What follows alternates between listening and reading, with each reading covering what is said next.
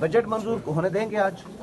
अगर हुकूमत डिबेट करता है बजट पे तो फिर मेरे ख्याल में बजट पास होगा। आ, लेकिन ये पहली बार होगा पाकिस्तान की तारीख में जहाँ बजट पे कोई डिबेट ही नहीं हुआ। तो ये बड़ा सीरियस इशू है।